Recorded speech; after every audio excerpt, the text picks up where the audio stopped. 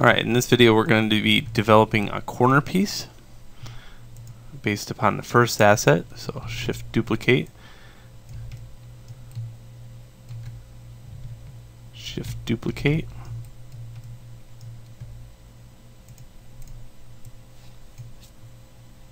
okay. This piece I'm just going to group together just for right now. So group it, then modify center pivot it, and then I'm able to rotate it on the pivot there. In this case I want uh, negative 90. Okay, jump to my top view, hit 7. Oops. There we go. Now I can move this piece into position.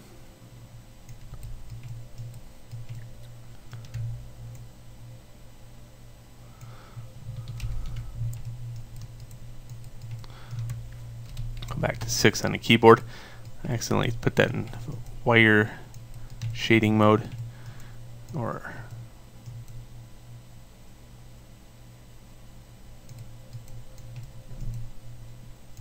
okay a little, little back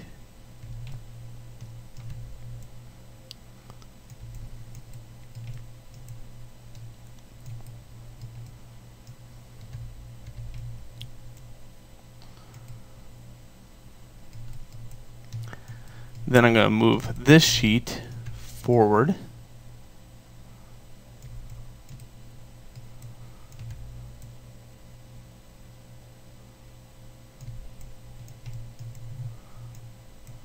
Just like that.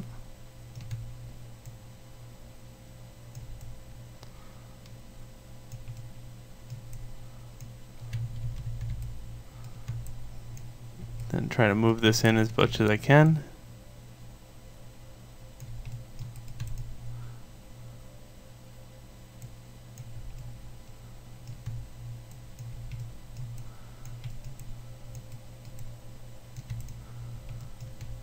Now there's bound to be some kind of adjustments that's going to happen here. So keep in mind, you know, all this is pretty loose as far as the interpretation of it.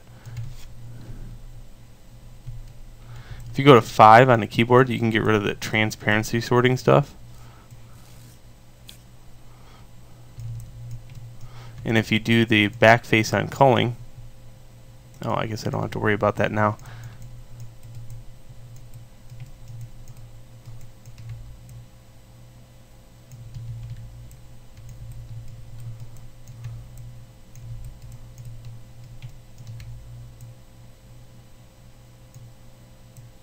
There we go. That works out pretty good.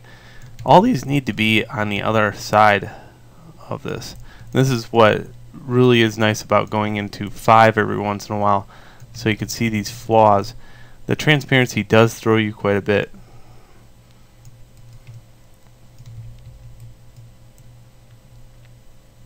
If you want to kill the transparency on certain things, here's a way to do that. If you go to the barbed wire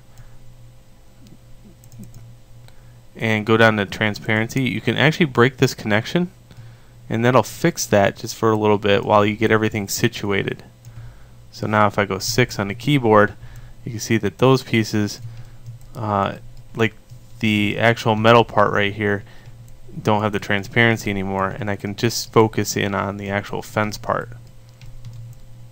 And sometimes that's important, you know, just getting that out of the way. Alright, now this part right here is kind of tricky. Uh, we're going to take and go to the edge and we're going to pull this out. We're going to just kind of stretch this texture by a little bit on this side. I'm going to go this way on this one. I'm going to go a little further than what is needed on both sides.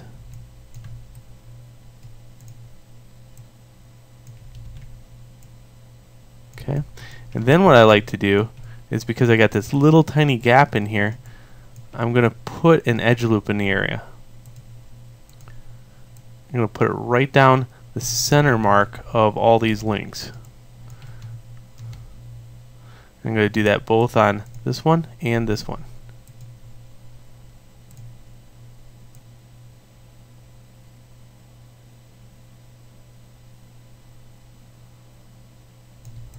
Okay.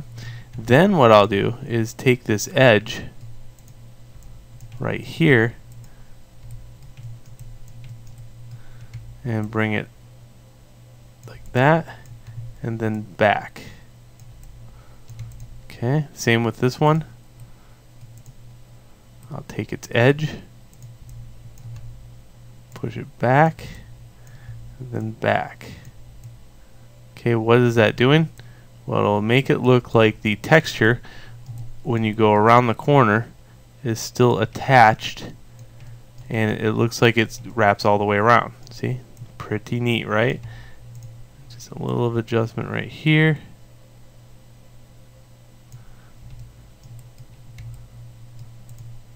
Moving this up just a skosh.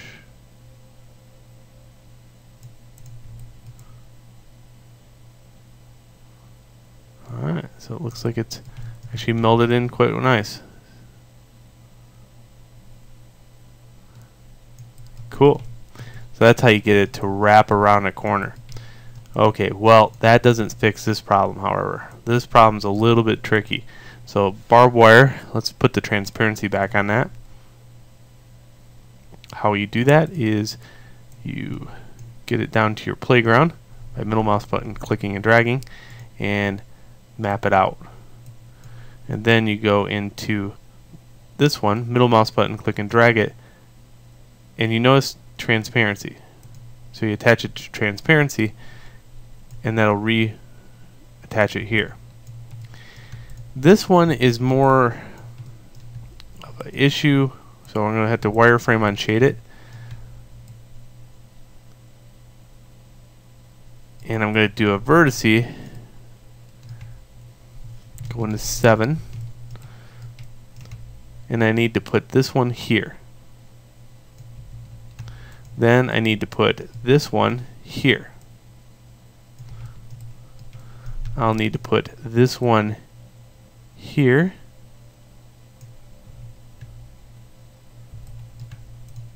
And I'll need to put this one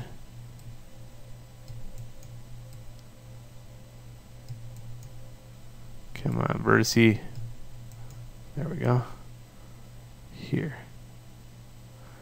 So I'm going to make a kind of a 45 degree angle based upon these two.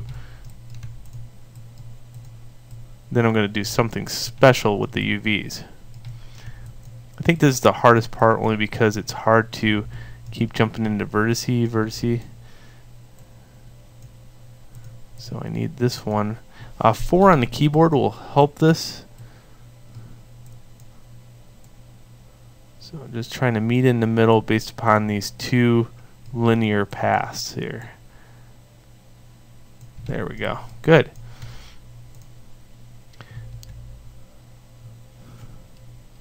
Six on the keyboard. Now what I'm going to do is something special with the UVs. Just on these two parts. So object mode, I'll highlight this one window UV texture editor. And here's my UVs for that. I need this edge. Okay that edge is located on this side and what I'm going to do is take the UVs and move them this way. Just like that. And then I'm going to do that to the other side.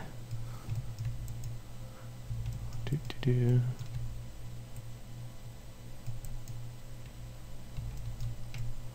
So this side would be this side. I just know that because I've done this before. There we go. I'm just going to push it past. Alright, look at that. Now it wraps around the corner.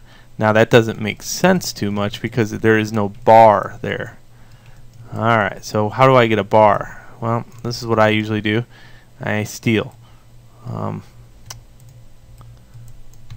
shift duplicate, shift D, uh, mesh separate, modify center pivot, push it back, delete the rest. Oh, I'm missing a part here. Sorry. back that up a little bit. There's actually two parts that make that up. It's that little collet that I keep forgetting. Mesh combine. There we go. Modify center pivot. Move that back. Get rid of this stuff. Delete it. And there we go. I got this little arm armory bar. I can see a professional fence maker right now just passing out going armory bar. What the heck is an armory bar?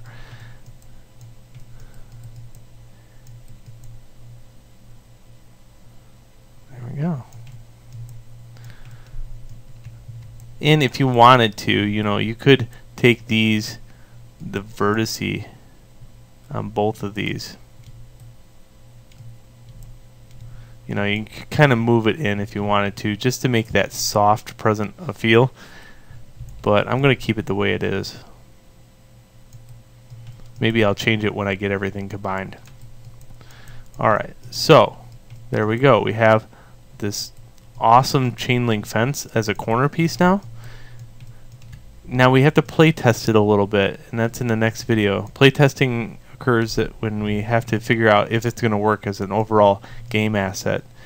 Uh, can I duplicate a huge fence area with just these three pieces or two pieces?